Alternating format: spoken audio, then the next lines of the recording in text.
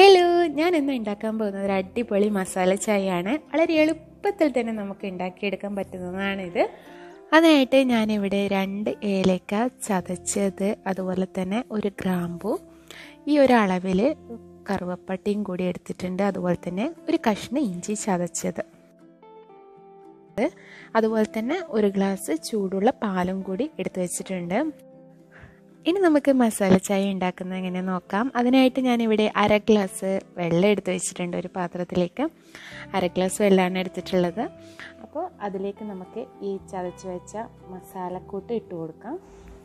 ഇനി ഇത് നന്നായിട്ട് തിളയ്ക്കണം. തിളച്ചതിന് ശേഷം നമുക്ക് ചായപ്പൊടി ഇട്ട് കൊടുക്കാം.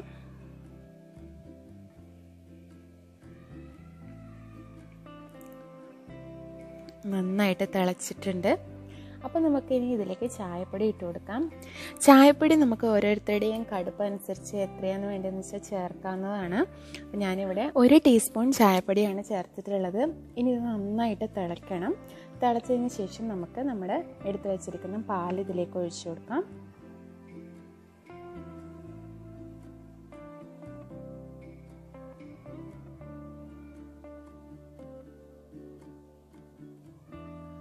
അപ്പോൾ നന്നായിട്ട് തിളച്ചിട്ടുണ്ട്. ഇനി നമുക്കിതിലേക്ക് പാൽ ചേർത്ത് കൊടുക്കാം.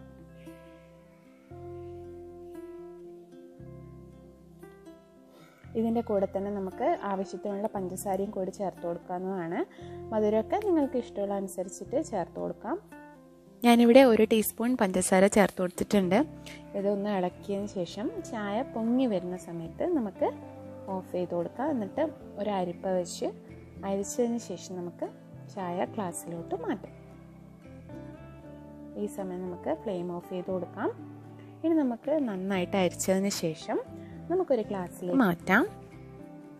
അപ്പോൾ ഇത് നമ്മുടെ അടിപൊളി മസാല ചായ റെഡി ആയിട്ടുണ്ട്.